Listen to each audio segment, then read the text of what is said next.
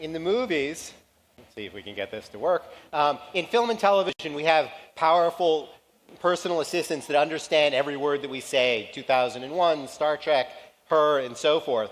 In the real world, right now, what we really have is not powerful assistants that understand everything that we say. Instead, we have hype. Hype is ubiquitous right now in the AI world. I'm going to give you some examples about where it comes from and how we should have a realistic view of AI. So um, here's an example of where hype starts. A corporation with a lot of money invested in AI puts out a press release, a blog, and says Microsoft, excuse me, creates AI that can read a document and answer questions about it as well as a person. And it's not really true. The system has not really learned as well as a person. I'll explain that in a minute. But the media gets very excited about this, and they turn that into something even more um, exciting. They say computers are getting better than humans at reading. Well, Microsoft never said that. And Microsoft also didn't say that robots can now read better than humans. There weren't any robots involved in the study that Microsoft was talking about. And then they go on to say millions of jobs are at risk. How many people have seen headlines before about millions of jobs at risk, right? You see them all the time. Um, but it comes from things like this, this study that are wildly overinterpreted. So if you read the fine print here, what happened is that Microsoft got a score of 82.6 on a test that humans got a score of 82.3 or something like that. So they didn't actually beat humans by a statistically significant amount. They just barely beat the humans at all. And they weren't beating Garry Kasparov, who was the world's greatest chess player when Deep Blue um, beat Kasparov. No, they were beating people who work for $9 an hour on Amazon Turk, going through as many stories as they possibly could. So it wasn't really the test of, of the world's greatest humans. But more than that, it wasn't really a very good test of reading. So um, what you had to do in this reading test was to underline a couple of words to identify the answer to question. So you could only answer things that are directly answered in the text. So if you had a short story like two children, Chloe and Alexander, my favorite children in the world, um, went for a walk and they both saw a dog in a tree, and Alexander saw a cat, the system like this could answer who went for a walk because the answer is there in the text. But anything else would be out of bounds. The system was never asked anything like, Are Chloe and Alexander people? So when you read, a lot of what you do is you read between the lines. You figure out the, the obvious things that authors don't have to tell you. Um, is Alexander more than 100 years old? Well, if he's a child, obviously not. You can figure out all this stuff. Machine reading can't do any of that. So you have these big, giant headlines that say, you know, humans are going to be replaced. In reality, the machines can't really do anything. Mm, thank you. So I, um, I saw that there was going to be another press apocalypse and I tweeted about it and I said, prepare yourself for a batch of grossly misleading reports on machine reading today. And four days later, clearly Sundar um, Pichai had not read my um, little bit of caution. He went and said that AI is more profound than electricity and fire. This is the kind of hype that we see right now. Well, maybe someday it will be. Right now, it's clearly not anything like that. But there's lots of people going around that. Here's Andrew Ng, um, who's one of the most well known people in machine learning, saying AI can do anything that a person can do in a second. Well, is that really true? Well, AI can do some things that a person can do in a second. AI can, for example, look at this picture and decide that it is more likely to be Tiger Woods than a golf ball. So AI can actually do that. It can do it pretty well now. Um, in the general way it does that is it takes big data in and it forms statistical approximations using a technique called deep learning. And deep learning is actually really good at a bunch of things. And so it's gotten popular for a reason. It's really powerful technique, but it's not nearly as powerful as people believe. So it's good at object recognition. It's good at face recognition. So this is how Facebook automatically tags your photos. It's good at speech recognition, at recognizing patterns in board games. It's getting good at telling the difference between a tumor and not. A lot of perceptual things. but the truth is, nonetheless, that we're still a long way from what you might call strong artificial intelligence. And I've been making this point for a couple of years now. People send me things by Twitter, um, examples of this. So here's one. You say to Siri, hey, Siri, find, excuse me, a fast food restaurant that's not McDonald's. And what does Siri come back with? Four examples of, or three examples of McDonald's. And I don't mean to pick on Siri, you get the same thing out of Google. Someone else sent me this. Don't give me the results of the last 49ers game. And of course, what does Google come up with of the last 49ers game? So you think about the Star Trek computer. If The Star Trek computer did something like this. you would be, be like Captain Kirk says to Scotty, what is wrong with the computer? Go fix it. But this is what we actually have right now. Now, a lot of people might remember Rosie the, excuse me, Rosie the robot from the old cartoon. Um, Rosie the robot would be the greatest thing for parents ever. Could change diapers, cook dinner, and so forth. I would pay a significant amount of money for something like this. What we actually have is Roomba, which is a little hockey puck that skates around a room um, and picks up a little bit of dust, but certainly can't do anything like diaper changing. So I'm here today, obviously, to give you a, a dose of realism. Um, I wrote an article in January called Deep Learning, a Critical Appraisal. Um, on arXiv, you can get it for free, ARXIV. And I talked about 10 problems for deep learning. I can't go through all of them in the next few minutes, but I want to give you some of the gist. Um, somebody else actually summarized for Wired a lot of them in this handy to remember headline Greedy, Brittle, Opaque, and Shallow The Downsides to Deep Learning. And I'm going to give you a few lessons about deep learning because it's so popular and so ubiquitous in all the discussion right now about AI and how much we should invest in it and so forth.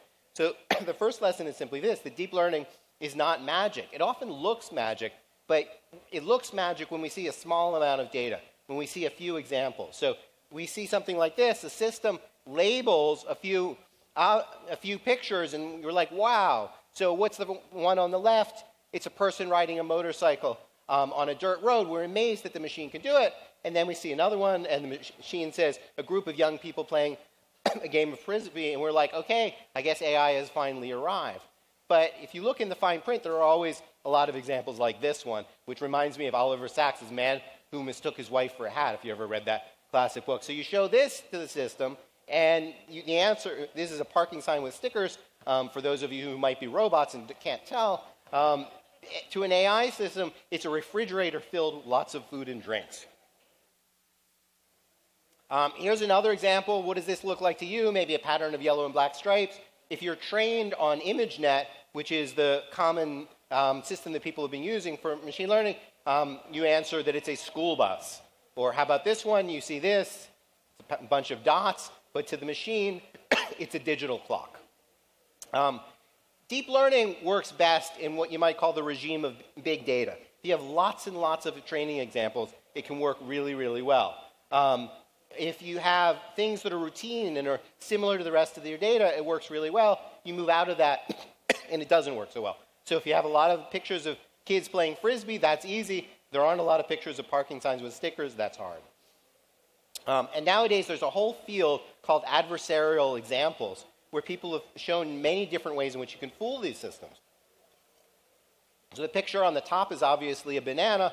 The, um, the picture on the left is like a psychedelic decal of a toaster. If you take that psychedelic toaster picture and put it next to a banana and ask a deep learning system, what do you see? it will say toaster. Now, any human being would say, that's not really a toaster. It's like a picture of a toaster next to a banana or something like that. But these systems can't even express complicated ideas like that. They're very easily fooled. so, the third point about deep learning is that its gifts at perceptual classification which is really what it does well, can only take you so far. So you go back to all of the things that I talked about before object recognition, face recognition, speech recognition, and so forth.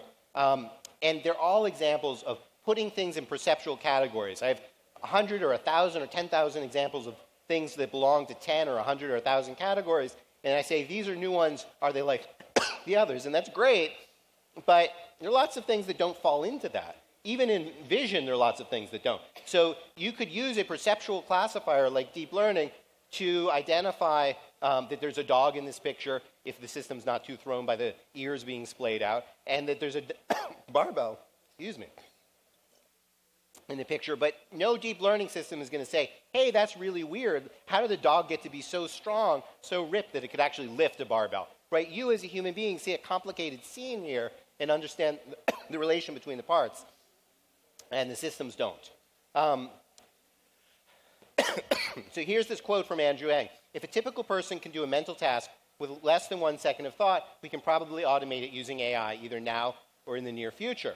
And here's, I think, something more realistic for anybody who's actually working with deep learning, wants to know where the systems work and where they don't. Which is, if a typical person can do a mental task with less than one second of thought, and we can gather an enormous amount of directly relevant data, we have a fighting chance, so long as the test data aren't too terribly different from the training data and the domain doesn't change too much over time. If anything changes over time, it doesn't work that well. Well, that brings me to Go. Go is exactly in the sweet spot of what deep learning can do um, because the data never change. The, the rules of Go haven't changed in 2,500 years, and so that's actually something where you can collect a lot of data. But let's compare Go and life. So Go is highly complex. You have perfect information about the board state. It can be simulated perfectly. You have unlimited data. All that really matters is the state of the board at that moment. But what about life? Well, life is also highly complex. There are some things that are in common, but, but you have imperfect information. You can't simulate it perfectly. You have only a little bit amount of data for each task, and essentially anything can matter. So Go is not really anything like life at all.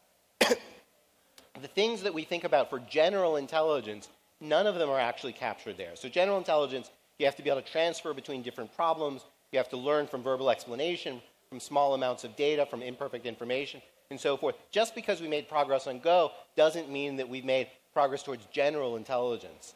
And really, we've all seen this movie before, but everybody seems to have forgot. So Watson won in Jeopardy, and everybody was like, wow, I guess AI is solved, and you know, IBM had a big marketing campaign around it, but it hasn't really worked out so far. So Watson is like seven years ago now, and it still hasn't, for example, made the progress on cancer that was promised. Um, and so recently, for example, the MD Anderson Cancer Center decided to pull out of a contract with Watson because the AI wasn't strong enough yet.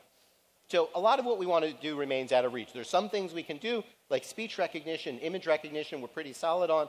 But there are other things like conversational interfaces that have basically been a failure. Facebook, for example, had its M project that was supposed to be a universal um, personal assistant that you could talk to as a chatbot, and they canceled the project because it's just too hard. We haven't gotten towards automated scientific discovery, automatic medical diagnosis only a little bit. Um, domestic robots are a long way away. One way to think about it is that ultimately deep learning is just one tool, um, and we're actually going to need lots of tools. So deep learning is like a better hammer, um, but we need a whole kit of tools. Thank you. Um, uh, one way of thinking about it is that um, to a man who has a hammer, everything is a nail. And that's kind of what's happening in the field right now, is that people are saying, I've got deep learning, it's really good at one kind of problem. I think I'm going to be able to solve all of AI that way. And it's just not plausible to a psychologist, and that's really my training, I work with Steven Pinker, um, you can think that in cognition there are many different things that are going on. We have perception, we have language, we have reasoning, we have common sense. Deep learning is really just one piece of that. It's the perceptual piece um, of cognition. There are other things that happen too. For example, we have common sense.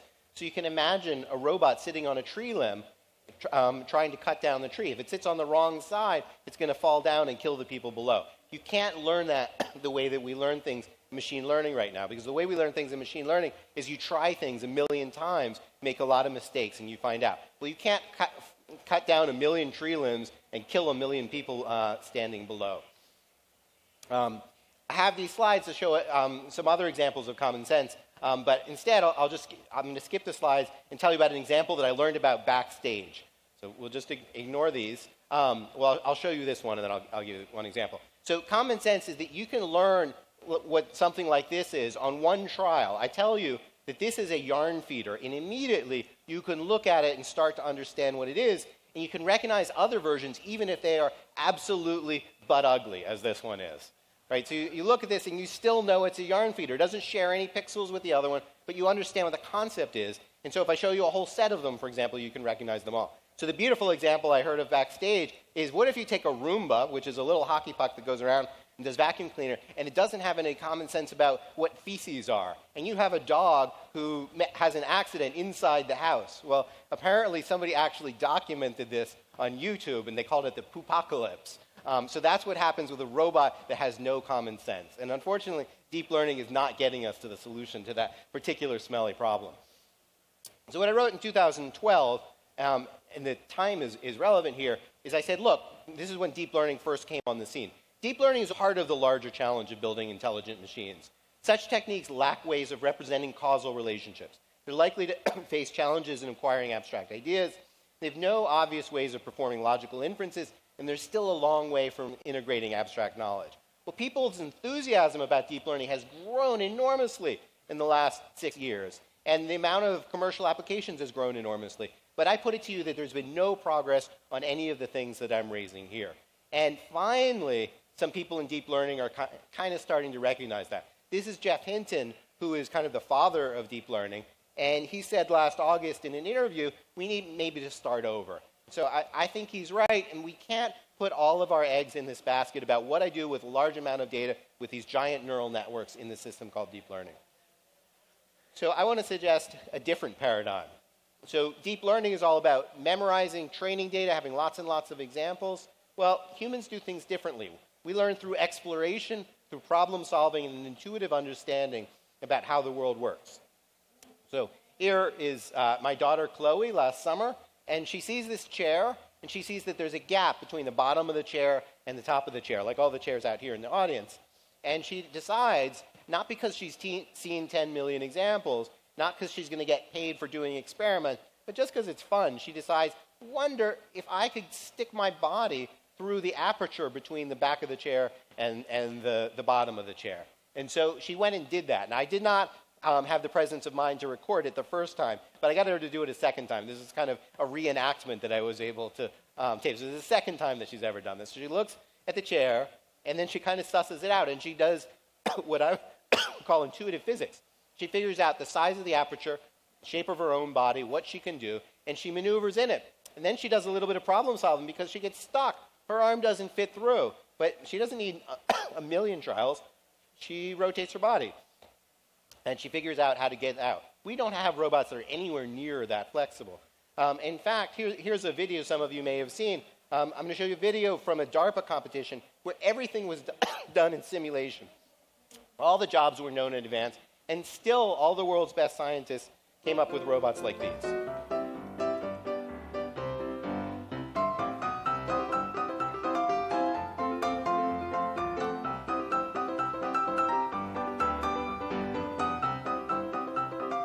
So the lesson here is we've had robots, we've been working as a field on robots for 60 years. Artificial intelligence um, started in the 1950s. My daughter was only three years old when she climbed through the chair. And the point is, maybe we can learn something um, from kids about how to make our robots smarter. So, just to sum up, deep learning is just one tool among many. It works best as a perceptual classifier. If what you need to do in your AI task for your business is just to decide are these things like these other things I saw before, Deep learning is a perfectly fine tool. and if you have enough data, and if those data don't change over time. But deep learning is just a kind of statistic, and statistics, all statistics make assumptions. So standard statistics, for example, assume the data are normally distributed, if you know what that is. Well, deep learning, if its assumptions are not true, if the data change over time in different ways, it's not really a very good technique anymore. We haven't seen any reason to actually believe that it can solve problems like common sense or natural language understanding. If we want the field of AI to advance, if we want to get to the point where we can actually use AI to help solve cancer and um, climate change and things like that, we need a more powerful system for AI. We're going to have to acknowledge that deep learning, even though it's very popular, is not actually getting us there. We're going to need some kind of new paradigm. Otherwise, I think we risk just getting stuck and kind of running up against a wall. And what I'm suggesting is maybe the minds of human toddlers, which I think are infinitely more flexible, might give us some pretty valuable hints. Thank you very much.